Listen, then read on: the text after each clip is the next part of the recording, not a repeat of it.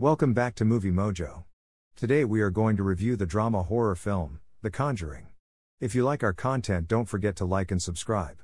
We upload multiple times daily. Spoilers ahead. With their five kids, Carolyn and Roger Perron relocate to a rundown, old farmhouse in Harrisville, Rhode Island, in 1971. With the exception of the dog, who won't enter the house, the family settles in easily on the first day. One of the daughters discovers the barred entry to a cellar while the kids are playing the hide and clap game that night. The family heads to bed after Roger uses a match to investigate the basement. The dog starts barking outside, and one of the children feels someone pulling at her feet, which causes Carolyn to express alarm. In the morning, their dog Sadie is discovered dead, and Carolyn awakens with a strange bruise. The following several days are filled with strange occurrences, including doors opening and closing on their own and Carolyn hearing clapping when no one is there. Their little Cindy wanders into the oldest daughter's room at night and repeatedly hits her head against an old wardrobe. The culmination of the action is a ghost that resembles an elderly woman attacking the oldest daughter.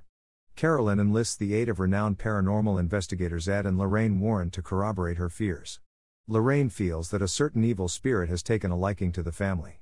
After doing a preliminary inquiry, they come to the conclusion that they should get involved and inform the Perron family that the house might need an exorcism. This, however, cannot be done without additional proof and approval from the Catholic Church. Ed and Lorraine learn that Bathsheba, a suspected witch, lived in the house while doing historical study on it.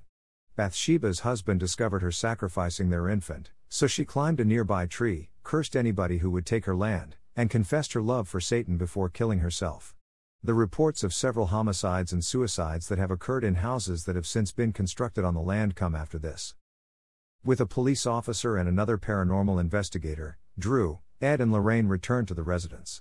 In an effort to convince the Catholic Church that the house is inhabited by the spirit of Bathsheba, they install thermal cameras, alarm systems, and other security measures all over the building. The first night, nothing occurs, and the clocks do not strike 3 in the morning. They share breakfast the following morning, and Roger Perron thanks Ed Warren for doing what he can to assist. Ed adds that every exorcism they perform steals a little bit of his wife Lorraine, but he assures them that they would do everything in their power to assist them. After another night of searching, nothing appears to occur until nightfall, when Cindy starts to sleepwalk once more. Thermal cameras see a temperature drop around her as she enters the wardrobe while ascending the stairs, and the door slams shut behind her. The others break into the space and discover a hidden doorway behind the wardrobe. After Cindy is removed from the room, Lorraine goes into the closet and tumbles through the floorboards into the cellar. She discovers Bathsheba's intention when she encounters the ghosts of others she has possessed, which was to take possession of mothers and use them to murder their offspring. After escaping the cellar, Lorraine and Ed go to Father Gordon with their proof to arrange an exorcism while the Perron family seeks safety in a hotel. When Carolyn abruptly drives back to the house with two of the girls, their sense of comfort is disrupted.